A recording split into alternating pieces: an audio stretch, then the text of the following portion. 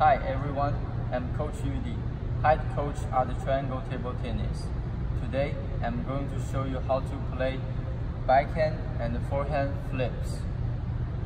In addition to pushing, the forehand flip and the backhand flip are two advanced techniques you can use to put a lot of pressure on your opponent.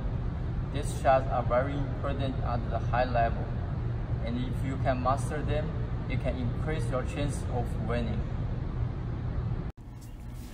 Now, I will show you some video of me doing these flips in practice and in matches. There are four things you need to do in order to play a flip. First, you have to recognize the placement of your opponent's ball. Second, you have to step in towards the table. Third, you have to pull your wrist back. The elbow stay in place. Finally, when you make contact with the ball, you want to accelerate forward fast.